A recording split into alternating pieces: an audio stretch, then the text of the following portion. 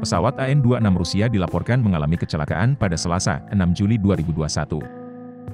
Dalam insiden tersebut, pesawat AN-26 diduga menabrak tebing saat hendak mendarat dalam kondisi yang buruk. Pesawat AN-26 sedang dalam perjalanan dari ibu kota Petropavlovsk Kamchatsky ke Palana, desa di utara Semenanjung Kamchatka ketika dilaporkan kehilangan kontak dengan menara kontrol lalu lintas udara. Berdasarkan penuturan pejabat tim SAR, sebanyak 28 orang di dalam penerbangan tersebut dilaporkan tak ada yang selamat. Pesawat tersebut mengangkut 22 penumpang dan 6 awak di dalamnya. Lokasi kecelakaan pesawat telah ditemukan setelah Kementerian Darurat mengirim sebuah helikopter dan telah mengerahkan tim di lapangan untuk mencari pesawat yang hilang.